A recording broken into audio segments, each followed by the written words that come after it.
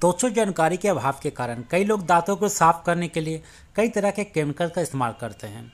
इसका भी दांतों पर बुरा प्रभाव पड़ता है। उम्र के साथ कई बार दांतों के ऊपर गंदगी चमती चली जाती है, जिस कारण दांत पीला हो जाता है।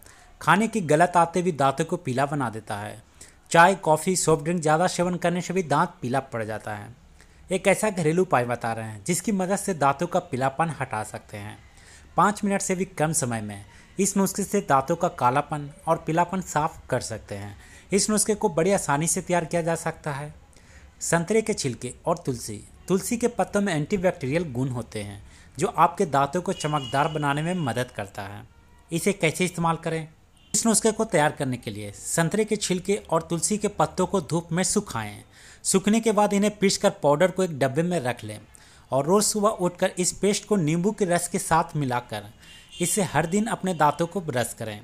इस उपाय को कुछ दिनों तक लगातार करने से आपके दांत पूरी तरह से सफ़ेद हो जाएँगे। तुलसी दांतों का पीलापन दूर करने में बेहद फ़ायदेमंद होती है। इसके उपयोग से मुँह से आने वाली बदबू भी गायब हो जाती है। दूसरा, अदरक और तुलसी।